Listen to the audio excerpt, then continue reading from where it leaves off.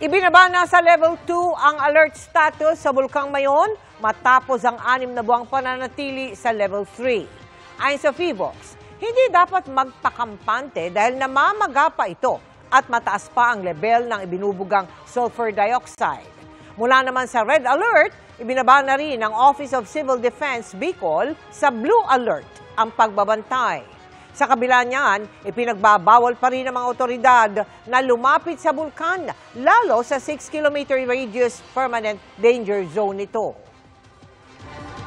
Mga kapuso, kasama niyo kami 24 oras. Mag-subscribe sa GMA Integrated News sa YouTube.